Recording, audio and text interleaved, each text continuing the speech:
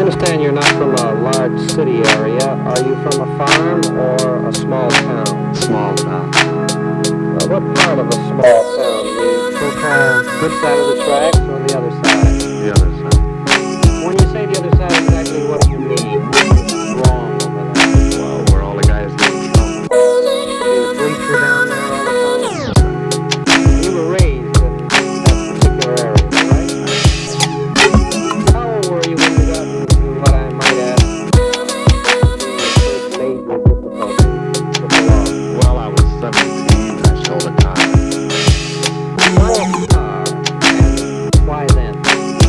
Well, I got in a family argument one night and I, I just didn't want to get out of town.